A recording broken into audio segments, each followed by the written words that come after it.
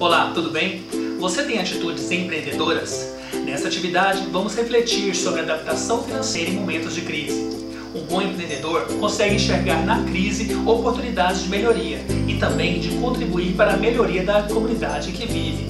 Uma das capacidades que devemos desenvolver neste período é de nos adaptar às múltiplas situações.